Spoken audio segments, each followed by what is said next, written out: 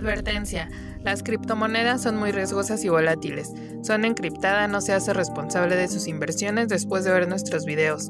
No somos expertos, solo compartimos nuestra experiencia y recomendamos que investigues por cuenta propia.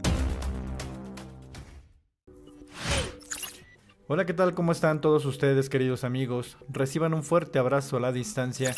Mi nombre es Carlos Villalobos, les envío la mejor de las vibras e iniciamos. El día de hoy, como en todos y cada uno de mis videos, te invito a que te suscribas a las redes sociales.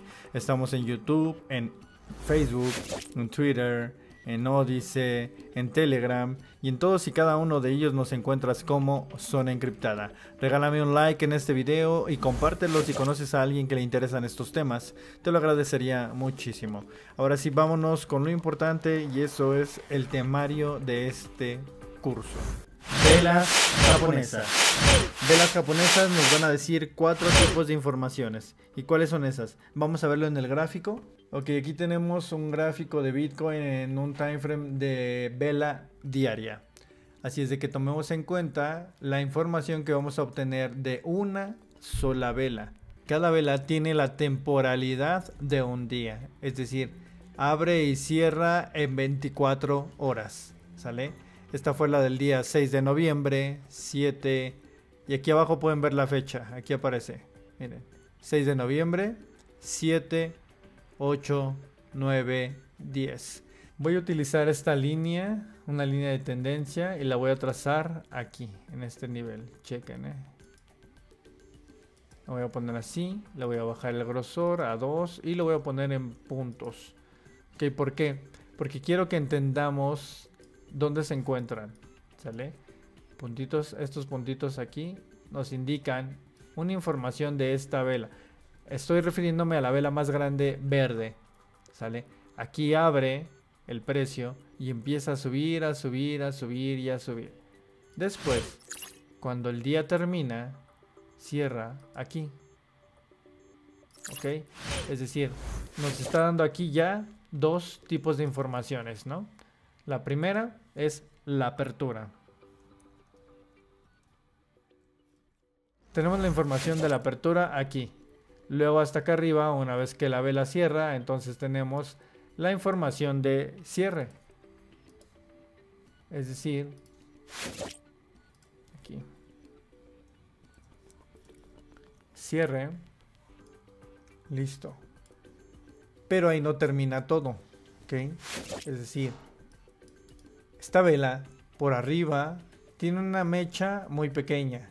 Que eso sería el máximo que alcanzó en este día entonces aquí donde termina el cuerpo de la vela, en el punto más alto, es el punto de cierre porque fue una vela alcista. Pero aquí arriba, si te das cuenta, tiene una mecha. Esa que información nos da el máximo que tuvo. Ok, entonces vamos a marcarlo también. Y escribimos máximo. Muy bien, aquí tenemos ya la información. Vamos a colocar la última, la última información, el último dato que nos va a dar. Pero en esta vela no la tenemos, puesto que no tenemos un mechazo. Entonces, en esta vela solamente tenemos tres tipos de información. La apertura, el cierre y el máximo que se logró alcanzar en ese día. ¿Ok? ¿Por qué? Porque vamos a darle continuidad. Y miren, esta vela que estamos analizando ahorita es alcista, ¿sale? Abre aquí, cierra acá y alcanzó un máximo de este nivel. Hasta ese precio llegó. 1.369.000 fue el máximo que alcanzó. Pero la siguiente vela lo que hace es lo siguiente. Apertura y empieza a subir, a subir, a subir, a subir. Y llega hasta este precio. 1.386.360 de Bitcoin al precio de este momento cuando estoy grabando el video. ¿Ok? Entonces estaríamos viendo aquí un máximo. Si es de que vamos a trazarlo una vez más. Máximo. Sale. Aquí tenemos el de apertura. Acá tenemos el de cierre. Ahora sí. Y por último tenemos el dato del mínimo, el mínimo que se alcanzó en ese día. Soporte. Es la zona por debajo del mercado donde la fuerza de la demanda supera a la fuerza de la oferta, lo que produce una detención del movimiento bajista y posteriormente un repunte a la alza de los precios. Es decir, como lo vamos a trazar, esta línea que estamos usando aquí va a ser nuestra línea de soporte. ¿Cuál es el soporte? Vamos a trazar una línea de aquí hacia acá. ¿Por qué? Porque nosotros estamos viendo cómo el precio rebota en este mismo nivel varias veces. Una, dos, tres, cuatro, cinco, seis, siete.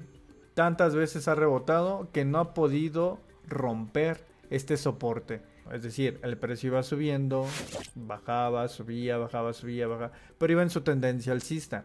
¿Qué pasa después? que el precio empieza a caer, a caer, a caer. Y entonces lo que hace es volver al mismo nivel que tenía desde un inicio, pero no logra romper con fuerza hacia abajo. Por lo tanto, se convierte en un soporte para el precio. Entonces, una vez que el precio vuelve a caer al mismo nivel del soporte, lo que hace es testear varias veces para terminar su movimiento a la alza es decir, el concepto no lo dice tal cual, y posteriormente un repunte a la alza de los precios. Resistencia. Por contrario, es la zona por encima del mercado donde la fuerza de la oferta supera a la fuerza de la demanda, lo que produce una detención del movimiento alcista y posteriormente una caída de los precios. Como lo trazamos de la misma manera, una vez que detectamos en donde el precio se detuvo y empezó a tocar varias veces ese nivel, bueno, pues este es prácticamente nuestra resistencia. Aquí lo tenemos como tal. El soporte es el que no va a permitir que el precio pase tan fácil hacia el nivel siguiente a la baja. Y la resistencia es el que no va a permitir que pase el precio al nivel siguiente a la alza. O al nuevo nivel si es que no existe un nivel por arriba, ¿no? Líneas de tendencia. Se traza una línea horizontal por los puntos más altos y otra línea que une los puntos más bajos, es decir, formando así un canal de tendencia, lo cual nos va a decir que la línea de tendencia 1 sería una resistencia y la línea de tendencia 2 sería un soporte dentro de este canal. ¿Cómo lo vamos a trazar? De la siguiente manera. Vamos a seleccionar uno para trazar nuestras líneas de tendencia. Aquí están. Ok, utilizamos nuestra herramienta de línea y del punto mínimo más alto al punto mínimo más bajo de nuestro movimiento vamos a trazar nuestro canal. Y la siguiente sería del punto más alto al punto más alto pero en el nivel de abajo. Es decir, algo así. Donde rompió, aquí rompió el canal. Aquí continuaba pero ya no lo hizo y aquí rompió el canal. Ok. Aquí tenemos ya la línea 1 y la línea 2 que trazan nuestro soporte y nuestra resistencia. En este caso la línea 1 sería el soporte, la línea 2 sería la resistencia. En este momento aquí abajo rompe la resistencia porque regularmente el canal descendente rompe a la alza y viceversa el canal ascendente rompería a la baja. Siempre hay excepciones, siempre las hay, pero el mercado estadísticamente funciona de esta manera. Por último quiero que veamos esta vela fíjense cómo cayó. O sea, su apertura subió, después cayó, cayó, cayó, cayó, cayó. Llegó hasta este nivel a 1.301.423 pesos mexicanos y sigue cayendo.